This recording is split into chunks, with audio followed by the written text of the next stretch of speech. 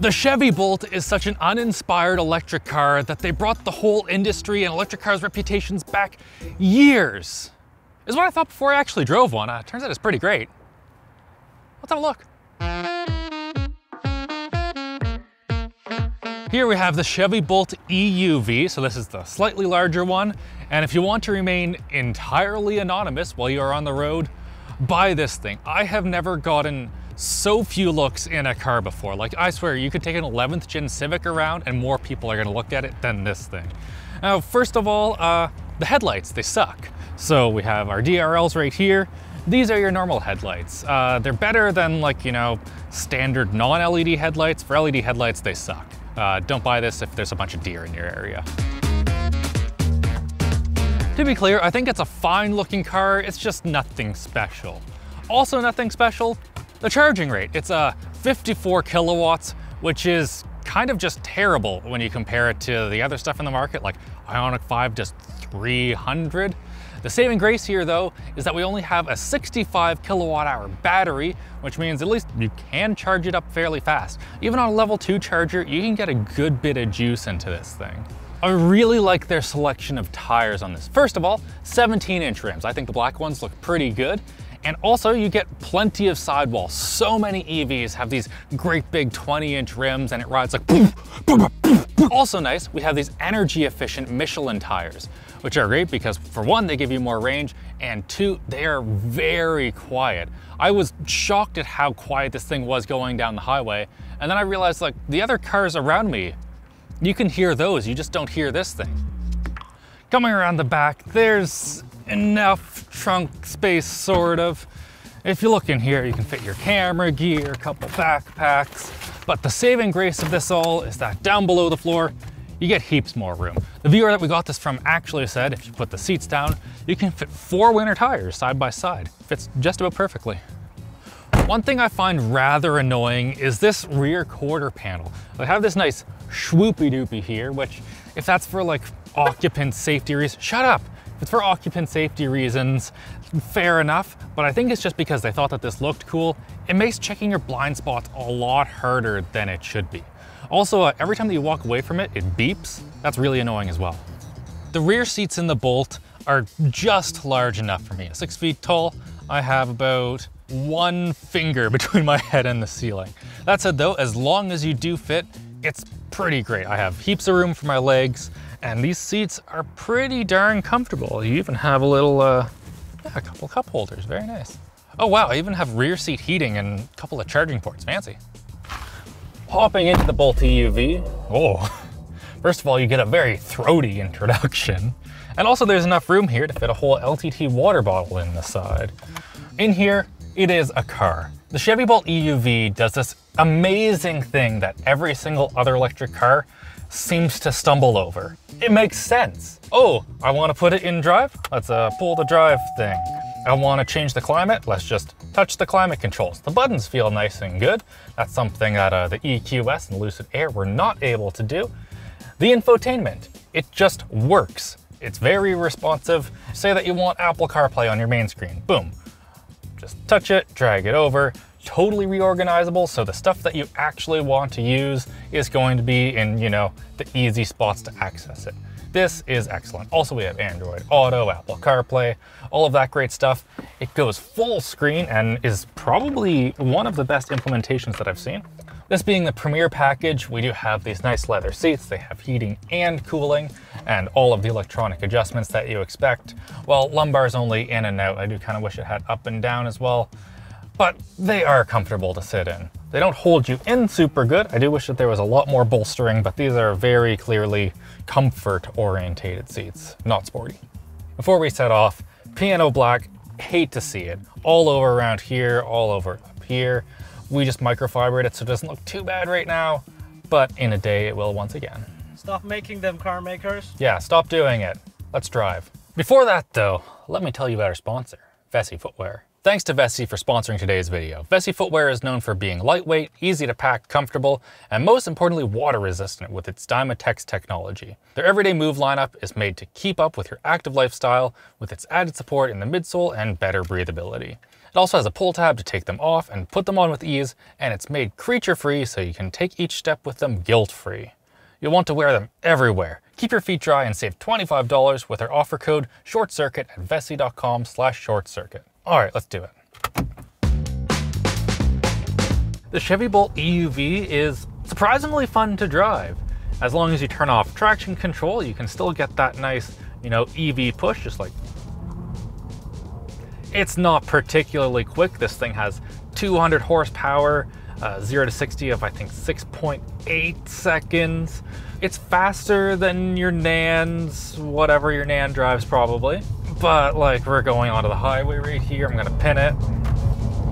Yeah, so once you're above about 40, 50 kilometers per hour, the like electric hit kind of goes away. That said, a lot of the people that drive this probably don't care about how fast it goes when you're you know, already at 120 kilometers per hour, because they're just not even gonna bother driving it then. So uh, this has Super Cruise, and this is the Super Cruise Road. Super Cruise is GM's take on autopilot. Now it works by mapping the roads, and it works shockingly well. Like we're just ripping down here right now, and I have no qualms like talking with my hands. I would not do this in a Tesla. I'm just looking at the camera. I am hardly looking in front of us, and it is totally fine. This is coupled with the adaptive cruise in this being some of the best that I've ever experienced, up there with the likes of Audi and Toyota. Good job, GM. As far as a car that allows you to, on the highway, just chop through the miles, this is really high up there for me.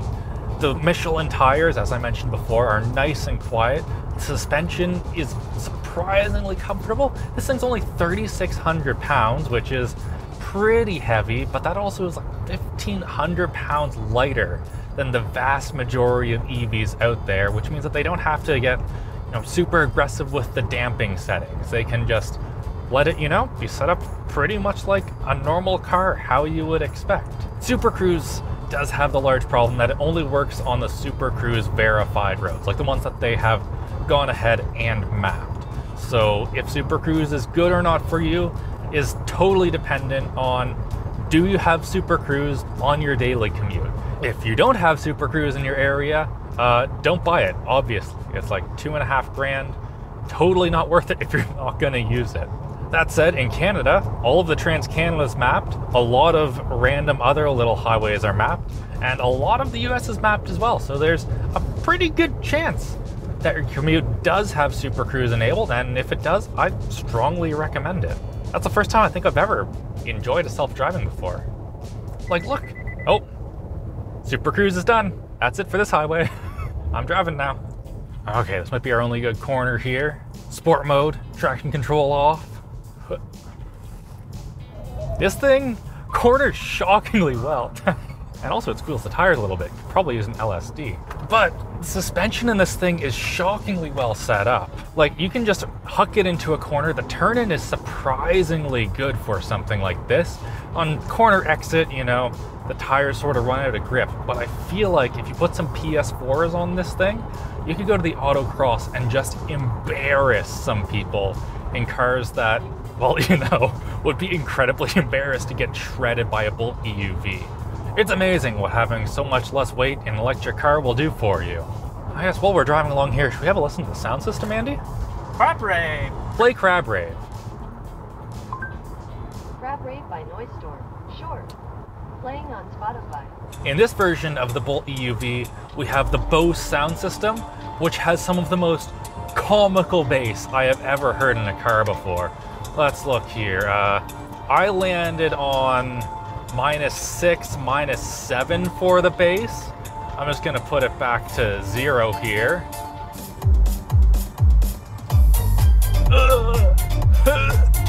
Sam, our labs engineer, went ahead and tested this, and it is hilarious. At 40 hertz, this thing has plus 12 decibels at, you know, zero on this screen.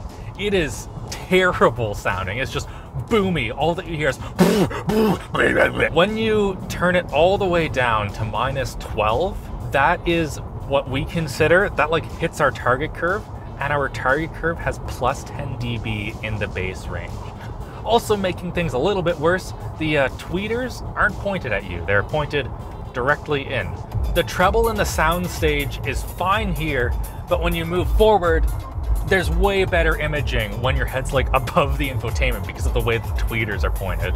That said though, a lot of this can be fixed by just simply turning it down. I like about negative 7 because I'm a bass head. A lot of people are gonna like it at minus 12. That just fixes most of it. The boominess goes away and it's very good.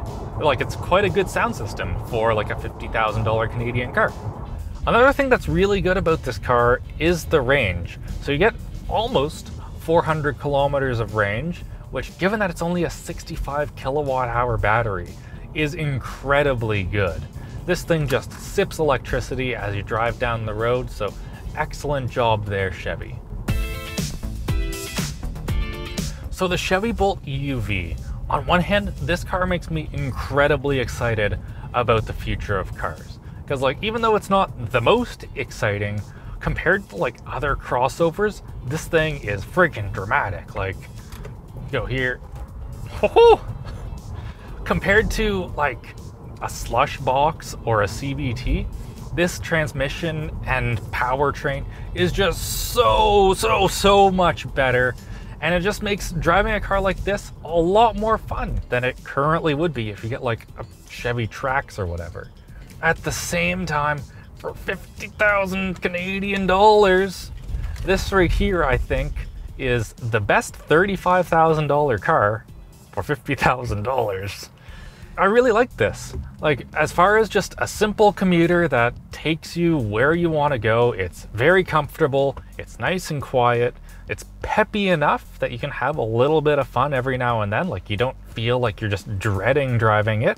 The problem is, is that for, well, the same amount of money, you can get the base Hyundai Ioniq 5 and the starting version of this thing right here, which is 40 grand Canadian, does not come with adaptive cruise, which in my mind, it's a no-go for a car that's that expensive. You can get a Civic for, what, like $15,000 less that has adaptive cruise? I guess the real thought is, how much do you care about if your car is cool or not?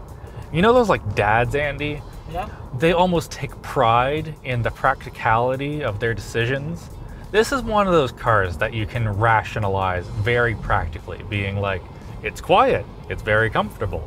Well, it uses no gas. So if you have cheap electricity and you have very expensive gas like we do in BC here, it could be very, very practical. But at the same time, like I said, you're so close in price to the Ioniq 5, it's pretty hard to give this thing a recommendation. What it does do though is make me incredibly excited to try out the Lyriq. That's coming soon, and as long as Chevy's able to keep the sense making bits of the Bolt and turn it, you know, as well into like the nice full EV experience, I think that's to be fantastic. So hit like, get subscribed, and let me know what you think of the Chevy Bolt. Too boring, kind of cool. I think a lot of people would really like this. Like my dad would probably really like this car. But at the same time, like, God, it's boring.